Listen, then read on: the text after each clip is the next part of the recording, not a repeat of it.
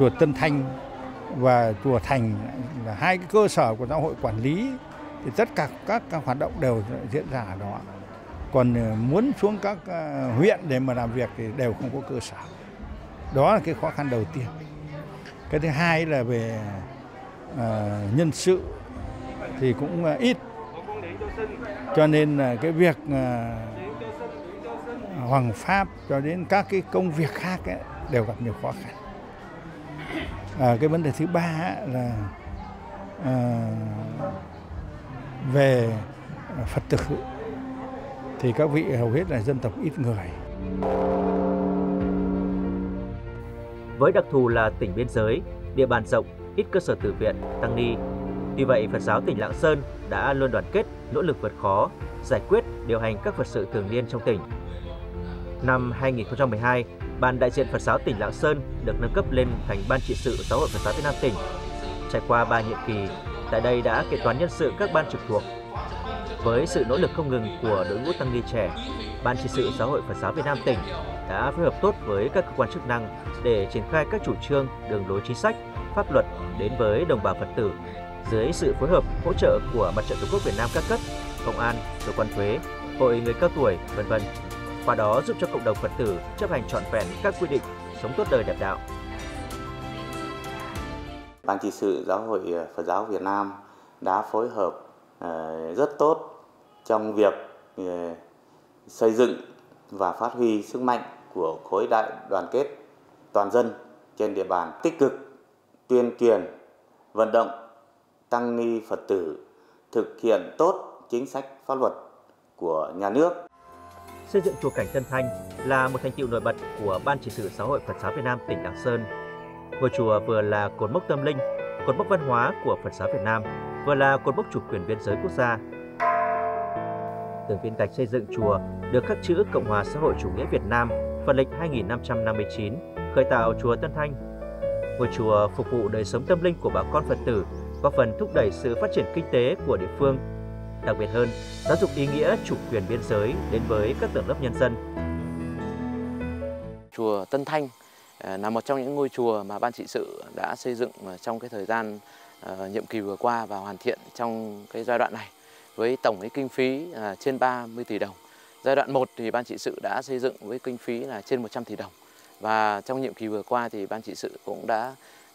xây dựng với kinh phí trên 30 tỷ đồng để đưa chùa À, vào khang trang hơn để có thể phục vụ đồng bào nhân dân à, Phật tử xa gần à, đến để lễ Phật cầu an cầu phúc cho gia quyến. Xác định rõ mục tiêu trọng tâm là công tác hoàng pháp và hướng dẫn Phật tử, lấy đó làm nòng cốt để Phật giáo nơi biên cương, địa đầu của Tổ quốc được phát triển. Tại các tự viện địa phương đều tổ chức các buổi thuyết giảng giáo lý, các khóa tu bắt quan trai thường kỳ, đặc biệt với khóa tu mùa hè cho thanh thiếu niên.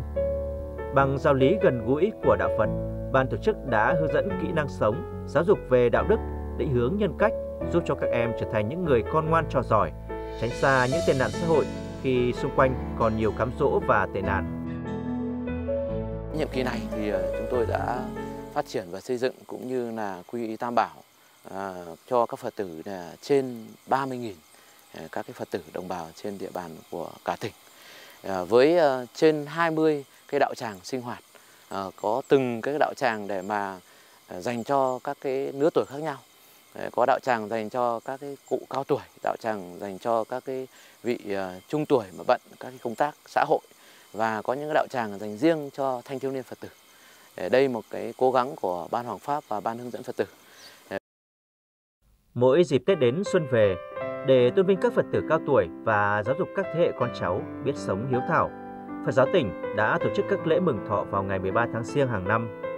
Đây là dịp con cháu sinh sống trong nước và ở nước ngoài đều trở về để bày tỏ lòng hiếu thảo với cha mẹ, ông bà.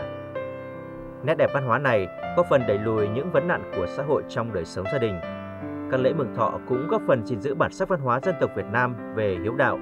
Đặc biệt, sinh hoạt này cũng được sách kỷ lục Việt Nam xác lập kỷ lục lễ mừng thọ lớn nhất Việt Nam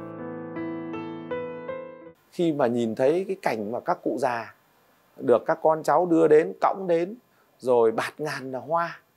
ờ, có hàng, phải nói là hàng vạn người. Bởi vì ờ, có những năm chúng tôi mừng thọ đến 500 phật tử, mỗi một phật tử có khoảng vài người con, khoảng vài chục người cháu,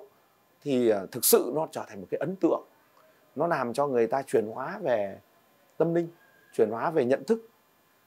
của hai đấng sinh thành à, trong xã hội hiện đại đây chúng ta cũng có nhiều người quên đi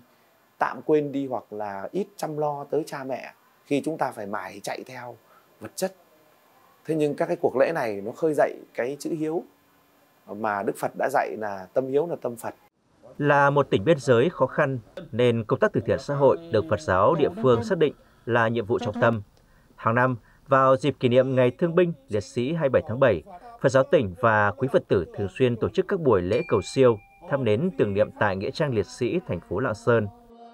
Thăm và tặng quà các gia đình chính sách nhân dịp Tết đến xuân về, hỗ trợ xây dựng nhà đại đoàn kết cho hộ nghèo, xây dựng cầu An Lạc.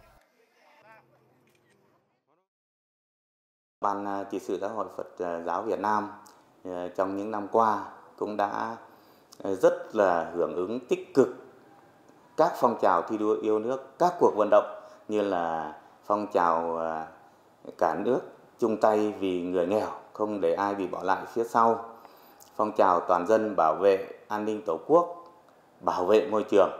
cuộc vận động toàn dân đoàn kết xây dựng nông thôn mới, đô thị văn minh. Giáo hội Phật giáo tỉnh Lạng Sơn, đặc biệt là ban trị sự thì các thầy hết sức là quan tâm đến công tác an sinh xã hội, công tác thiện nguyện. Cụ thể là trên địa bàn huyện Chi Lăng của chúng tôi đến nay các thầy đã hỗ trợ xây dựng 12 cái cầu an lạc. Thế rồi xây dựng các cái nhà tình nghĩa và đặc biệt trong cái đợt dịch khốc liệt vừa qua thì các thầy cũng đã ủng hộ lực lượng trục chốt 100 triệu và các cái phần quà hiện vật đến các cái hộ gia đình, các cái khu cách ly, các cái chốt kiểm dịch cũng trị giá hàng trăm triệu.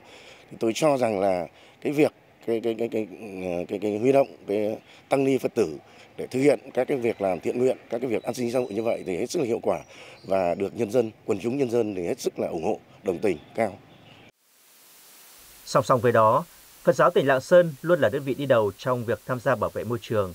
Trong dịp lễ ông công ông táo hàng năm, Ban trị sự Giáo hội Phật giáo Việt Nam tỉnh phối hợp với Ủy ban nhân dân, thành đoàn Lạng Sơn hướng dẫn cho hàng nghìn lượt nhân dân thu gom các đồ thờ cúng bỏ đi vào các thùng chứa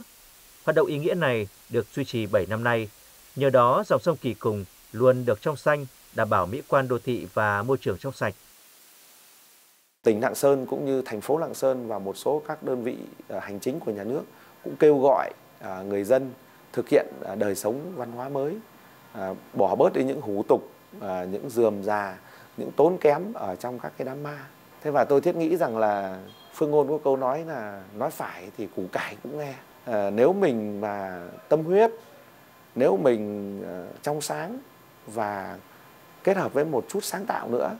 trên cái nền tảng văn hóa Phật giáo đã vốn có rồi à, tiền tổ đã để lại rồi mình khéo nồng ghép mình khéo chuyển hóa thì tôi thiết nghĩ rằng là không có gì là khó cả mỗi tăng ni Phật tử tỉnh Lạng Sơn đã và sẽ luôn gương mẫu trong rồi tuệ mệnh giới đức nâng cao trình độ giữ vững tinh thần đoàn kết cùng với các cấp chính quyền và nhân dân các dân tộc tỉnh nhà xây dựng quê hương Lạng Sơn ngày càng phồn vinh thịnh vượng. Với những đóng góp đó, Ban trị sự Giáo hội Phật giáo Việt Nam tỉnh Lạng Sơn vinh dự được Chủ tịch nước tặng huân chương lao động hạng 3 vì đã có thành tích xuất sắc trong các hoạt động xã hội, từ thiện và nhiều giấy khen của các cấp chính quyền trong những nỗ lực cống hiến góp phần vào sự nghiệp xây dựng, bảo vệ Tổ quốc. Mặc dù còn nhiều khó khăn, thế nhưng trước tinh thần đoàn kết của chư tăng ni Phật tử, tin chắc rằng trong các nhiệm kỳ tới, Phật giáo tỉnh sẽ luôn tiếp tục phát huy được những thành tiệu tích cực trên con đường phụng sự nhân sinh,